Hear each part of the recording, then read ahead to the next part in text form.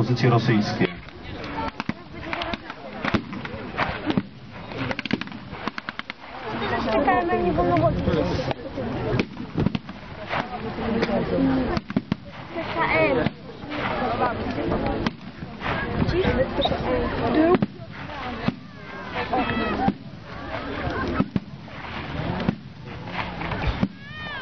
Jak to są te naboje, to nie strzelają.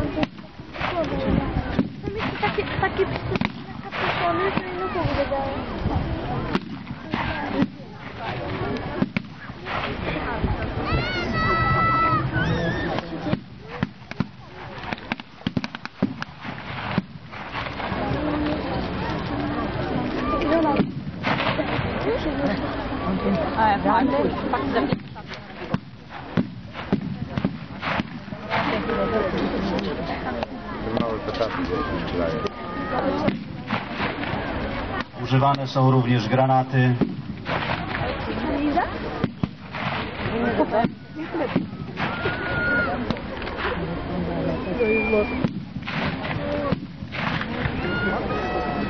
Drzewo i korzenie, które znajduje się na polu bitwy, zabezpieczyło nam Nadleśnictwo Gorlice, któremu serdecznie dziękujemy. Doskonale komponuje się w teren inscenizacji wojennej.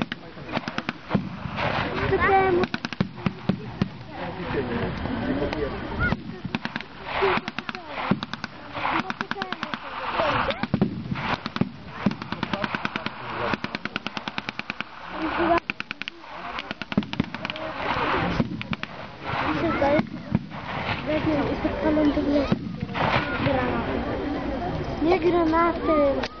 1 marca 1915 roku powstała grupa operacyjna.